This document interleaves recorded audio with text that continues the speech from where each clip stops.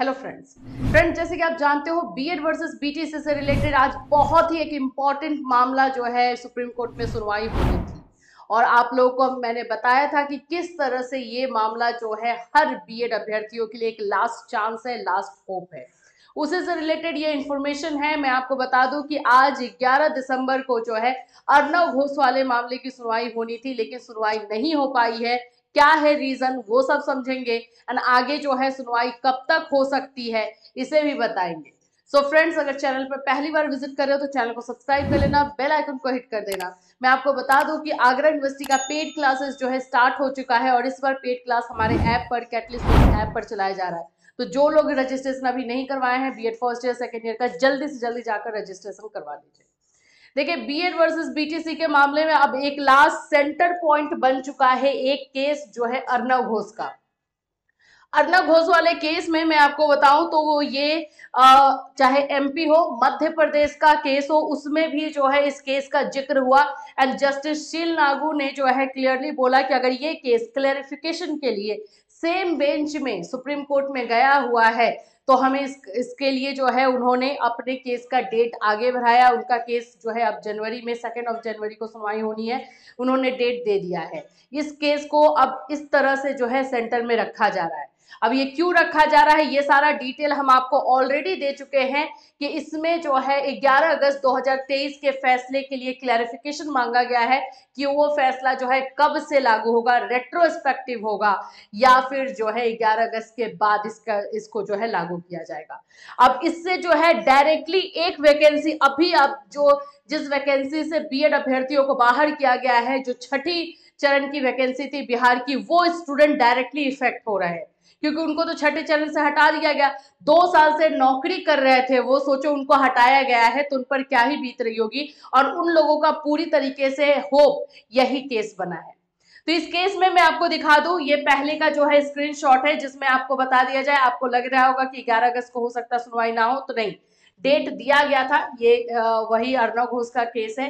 11 बारह 2023 का tentative date दिया गया था। टेंटेटिव डेट का मतलब होता है संभावित। डेट और संभावित इसको इसलिए बोला जाता है कि ये चांस है कि उस दिन केस होगा, अगर लिस्टेड हुआ तो। तो आज जो अर्नब घोष वाला केस है, वो लिस्टेड नहीं हो पाया और नहीं होने की वजह से ही जो है इस केस की सुनवाई नहीं हुई है। अभी मैं आपको ये केस का जो है करंट स्टेटस दिखा देती हूँ।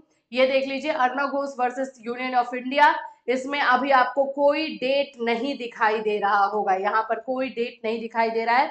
जहाँ पे पहले 11 दिसंबर का डेट दिखाई दे रहा था, क्योंकि आज के दिन इस केस को लिस्ट नहीं किया गया है। रीजन इसके जो हैं, देखो, आपको एक बात बता दिया जाए, जब भी भी टेंटेटिव डेट दिया जाता है तो ये आप फिक्स नहीं मान सकते हो कि उसी दिन सुनवाई हो जाएगी। आपको एक दिन पहले जो है केस को लिस्ट कर दिया जाता है, जिसमें आइटम नंबर मतलब केस नंबर जो है सभी चीज़ें आ जाती है, किस कोर्ट में सुना जाएगा कोर्ट नंबर क्या होगा, ये सभी चीज़ें आ जाती है।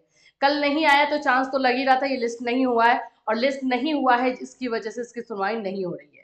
अब इसका रीजन जो है अनुमानित तौर पर यही लगाया जा रहा है क्योंकि आज सुप्रीम कोर्ट में जो है बहुत बड़ी सुनवाई है। आपको आ, ये 370 आर्टिकल से रिलेटेड सुनवाई है जिसमें आज फैसला आने वाला है। ये फैसला 5 सितंबर को सुरक्षित रखा गया था और आज ये फैसला आएगा जिसमें नेशनल इंटरनेशनल सभी लोगों की आँखें जो है बनी हुई है इसी के ऊपर और ये काफ़ी इंपॉर्टेंट है। तो ऐसा अनुमान लगाया जा रहा है कि इसकी वजह से हो सकता है कि अर्नव घोष वाले मामले की सुनवाई नहीं हुई। ठीक? अब ये केस का जो है डेट कब तक आएगा? सबसे तो इम्पोर्टेंट यही क्वेश्चन है कि अब इसका डेट कब आएगा?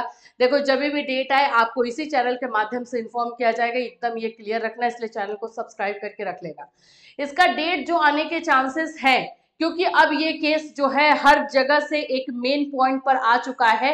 इसलिए इसका डेट ज़्यादा खींचा नहीं जाएगा। देखो, खींचने का मतलब है ज़्यादा अगर केस को लंबा लेकर के जाएँगे तो सभी स्टेट के वैकेंसीज जो नई आने वाली है, वो भी, और जो पहले से जो चल रही थी, जिस, जो मामला जो है पहले से जो चल रहा था, वो भी अब इससे जुड़ चुका है। वो सभी चीज़ें जो है, इससे कनेक्ट हो गई है। तो इसको जो लास्ट इसकी सुनवाई हुई उसमें इसको जो है आप जानते हो कि सीजीआई कोर्ट में जो है सेंड कर दिया गया और वहाँ पर आ, इसकी सुनवाई होनी थी लेकिन नहीं हो पाई है।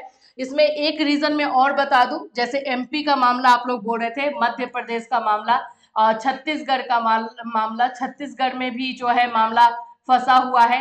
इन सभी मामले में और खास करके बिहार का मामला चाहे वो सिक्स फ़ेज़ वाला हो जाए या सेवेंथ फ़ेज़ हो, हर मामला जो है इसमें फंसा हुआ है और ये मामले की क्लियरिटी जो है इसी केस के बाद मिलेगी। इस केस में मांग सिर्फ़ इतना हुआ है कि आप 11 अगस्त 2023 का फैसला कब से लागू किया जाए, ये क्लियर कर दीजिए। इस पर चर्चाएँ बहुत सारी होंगी आर्गुमेंट बहुत सारे होंगे। इसलिए इस केस को जल्दी बाजी में जो है सुना नहीं जा सकता। हर पॉइंट्स को जो है मद्देनजर करते हुए इसको सुनना है। तो फ़िलहाल इस केस की सुनवाई नहीं हुई है, इससे रिलेटेड डेट आएगा, जब भी इसका डेट नेक्स्ट डेट दिया जाएगा, आपको इसी चैनल के माध्यम से इन्फॉर्म किया जाएगा। Till then take care